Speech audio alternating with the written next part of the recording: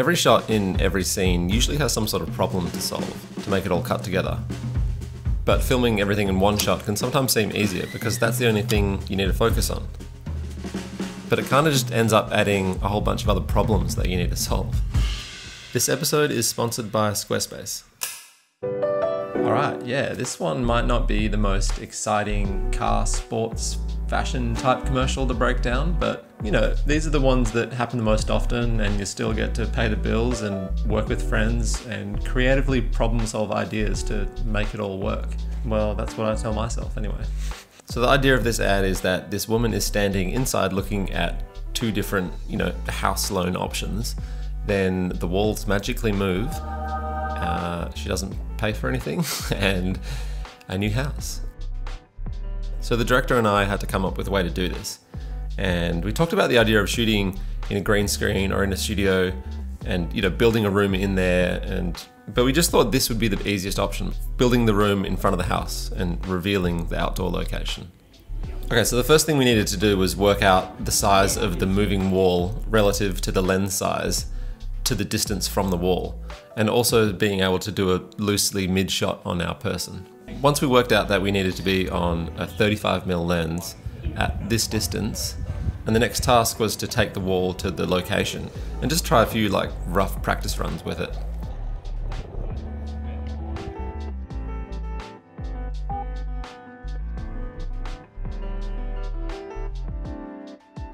So with the house location, we knew we had to find a house with the sun backlit behind it. Not only because it looks better having that edge rim light around her, but but because the shadows that would have cast from the tent and you just want to backlight everything in commercials so the talent looks better. Then we needed to work out what time of day we wanted to be there because at the end of the shot we got a tilt up and there's a logo going in there. And and I knew we didn't want the sun to be in that shot because it would be too distracting, you know, flaring and burning out over the logo placement. So the sun path went like this over the back of the house. Around the middle of the day, give or take a couple of hours, there was enough distance from the roof of the house and the sun that we could tilt up and get the logo in there. So that's the time we plan to shoot. Then we just work the schedule back from that, like how long it's going to take to set up, etc. Then the next issue was that we need to close the road to build this tent, but we needed to be on the person's driveway across the road, so we had to get their permission. Then also the tent needed to be high enough and wide enough that we could put lights in there to light her. So we had to rig this bar across here to light the wall and to light her. And not only that, but because the camera is going to be exposed to the outside when the wall's removed, the amount of light that we need is going to have to be really bright. And because the lights are so bright, the fall off is going to be really fast, so it's going to be quite contrasty. You can see how contrasty it is and how quick the fall off is, even from that top soft light up there. We could have done an exposure pull, but there was too many little gaps from the moving wall and as soon as a little bit of daylight creeps in, it affected all the lights inside. Okay, so we sorted that, but we realized we're gonna be able to see ourselves and the big tent in the window reflection of the house. So let's get the art department to cover all the windows in a diffusion material so we can't see ourselves. Now she's gonna have to walk on the same path as the dolly, but there's a dip in the road so the dolly is gonna have to be slightly elevated. So she's not gonna be able to walk along the track which is kind of a pain for actors anyway, even if it's not elevated. So we got the dolly on an extended arm so she can travel next to it. So these are just some of the problems and solutions and they just go on and on, but that's the job and that's kind of what makes these common everyday type ads still interesting to make as a cinematographer.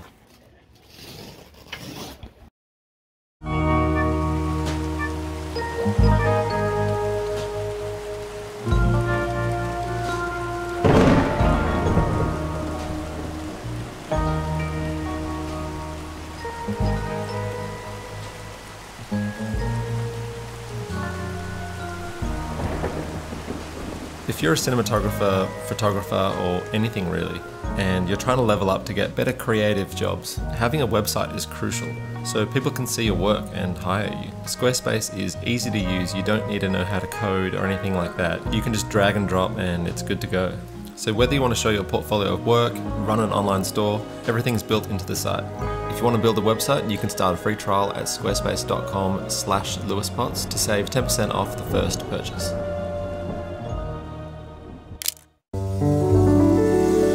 So for the lighting on this one, we used an Intellytech Mega Light Cloth above to sort of light the wall and give her a bit of a backlight.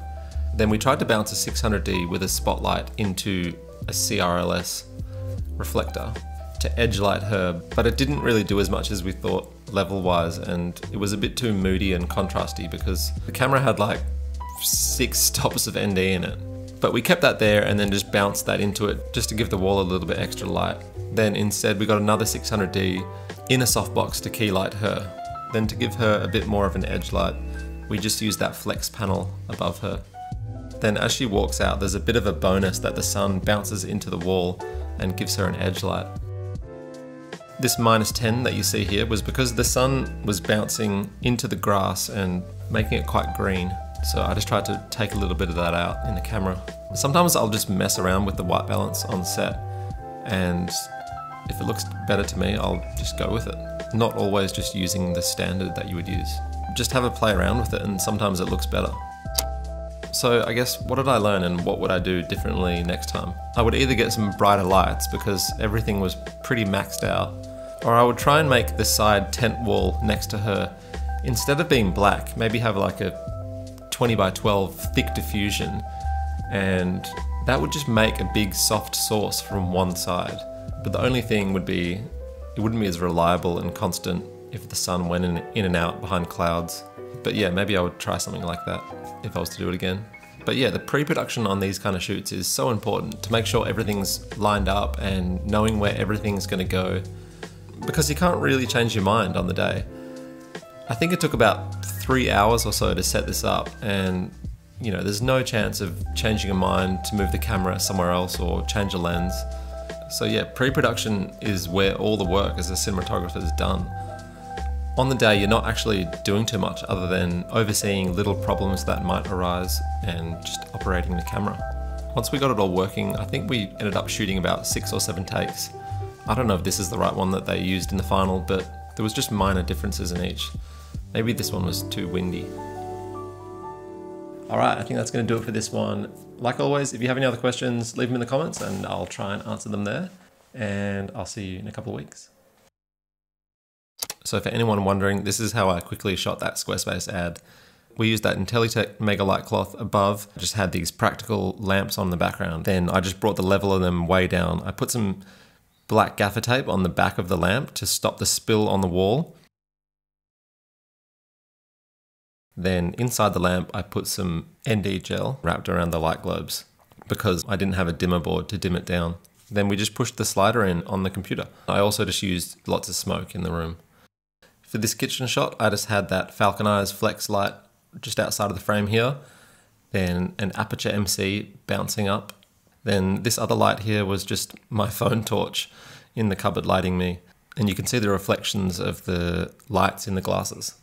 Then for the grade, I did it in Resolve with the plugin Dehancer, which is a really great sort of film color grading emulation plugin. I really like this profile here, the Kodak Aerocolor 125. then I kept this print linear, boosted up the color density, changed the contrast a little bit. Then I had the grain on, then a little bit of halation. This plugin's so good to use. It's so simple. You just do it all in there and it looks amazing. Then I just used Epidemic Sound for the track and then the sound effects like the lightning and the rain. That's it.